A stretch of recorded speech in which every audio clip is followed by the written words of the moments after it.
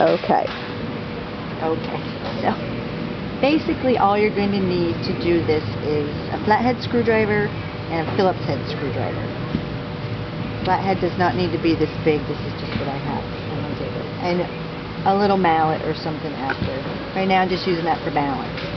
Because you want to start with your shade completely down. All the string is down. And this will help balance it. So then the little tabs on the top of the clutch we're just going to pop up with a screwdriver. Smaller one would be better. If you have fingernails you can also use that too and that's just going to come off like that. On the inside here you'll see a screw. That screw we're going to take out. That's the one holding the clutch in.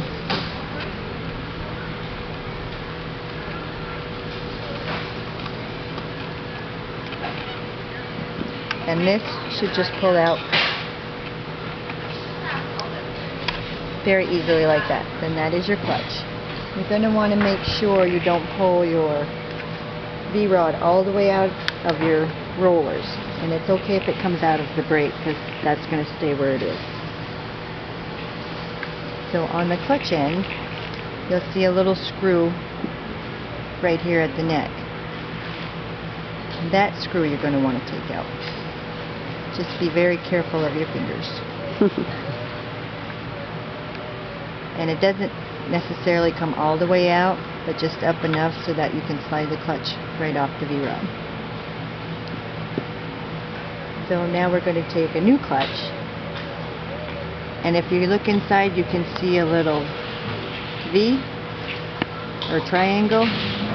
That's where it's going to fit into the V-rod. There's a V actually in this V-rod so it will only fit in that one way. And then you're just going to tighten this screw down. Once again, being careful because it can be a little tight.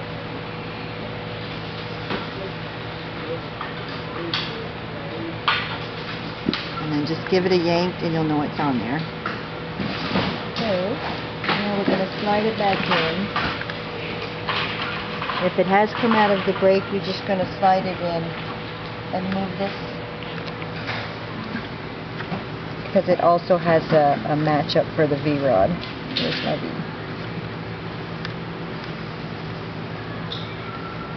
V. What are you feeling for there?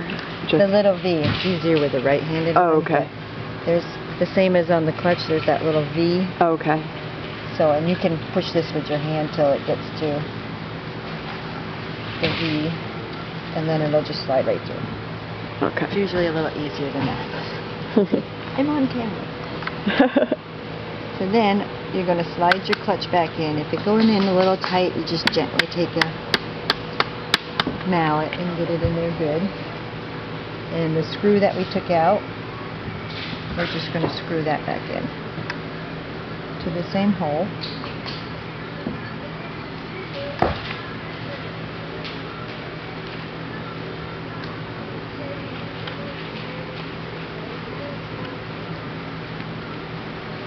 You should be giving us jokes or something for this part. no. I'm trying to be nice. Like we always remember when we're putting these in to do a double screw. Okay, so now that your clutch is in there, we're going to remove the Started in India. pull cord from the old clutch.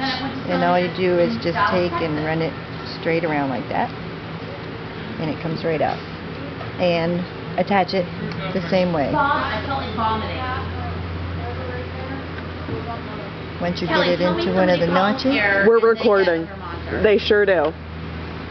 now you're on video for that. if it doesn't go one way, that means it's locked. So just go the other way. outsourcing views are recorded for history. Yes, they are.